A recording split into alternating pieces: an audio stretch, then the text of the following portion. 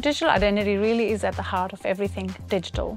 It is an individual's ability to identify themselves online, their ability to seamlessly access applications, and safeguard number of usernames and passwords. The biggest opportunity for the business is to work with innovators, incumbents and regulators to strike the right balance between identity, privacy and security.